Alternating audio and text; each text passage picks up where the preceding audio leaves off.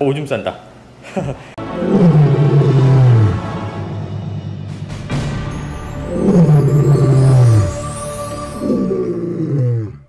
자, 안녕하십니까. 일량농장입니다. 이번에도 새로 태어난 올챙이 친구들을 어, 촬영하러 왔습니다. 자, 일단은 이번에 브리딩할 때 상당히 놀랐던 점이 하나 있어요.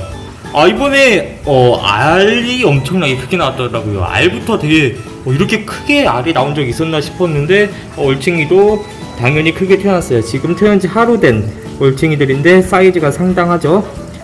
지금 보시면은 아직 헤엄도 제대로 못 치는 애들이 많아요. 그 정도로 어, 태어난 지 얼마 안 된 애들인데 사이즈가 제법 큽니다.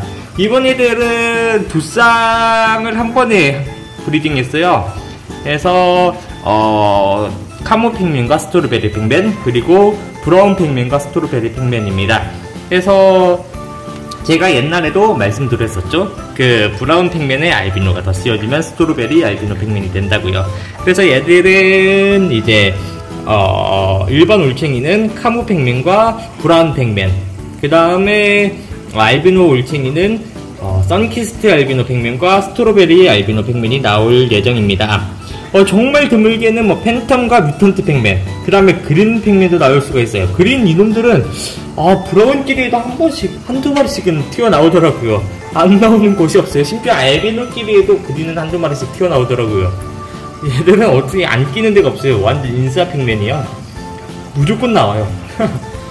자, 일단은 그렇습니다. 자, 일단은, 어, 부모 개체 한번 영상 보러 가보시죠. 뿅.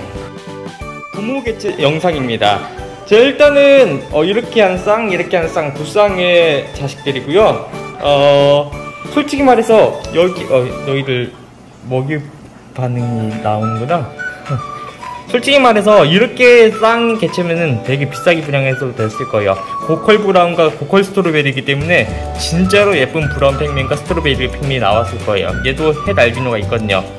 근데 얘들 날도 같이 섞였잖아요. 솔직히 말해서 얘들은 카모 팽맨과 브라운, 그 다음에 알비노는 썬키스트와 스트로베리가 골고루 나올 거예요.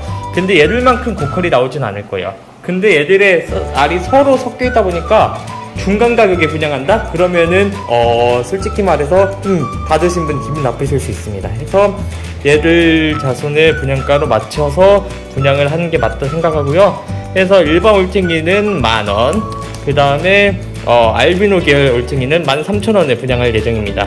이제 솔직히 말해서 얘들의 자손이었으면은 어, 일반 올챙이 만 삼천 원, 알비노 계열 만 오천 원에서 만 칠천 원 이렇게 분양이 됐을 거예요. 워낙 얘 quality 높게 나왔을 테니까.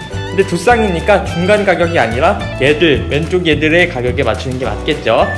자 이게 부모 개체 영상이었고요. 아 이번 영상은 너무 짧게 찍어서 좀 죄송한데 어, 다음 주 영상에는 어, 다큰 아, 조금 그래도 어느 정도 성장한 올챙이들과 그 다음에 새로 수입 들어오는 수입 개체로 영상을 준비해 보도록 하겠습니다. 영상 재밌게 봐주신 분들은 구독하기와 좋아요 알림 설정까지 부탁드리고요. 여기까지 알량농장이었습니다. 오 오줌 싼다 자, 일량 농장이었습니다. 뿅!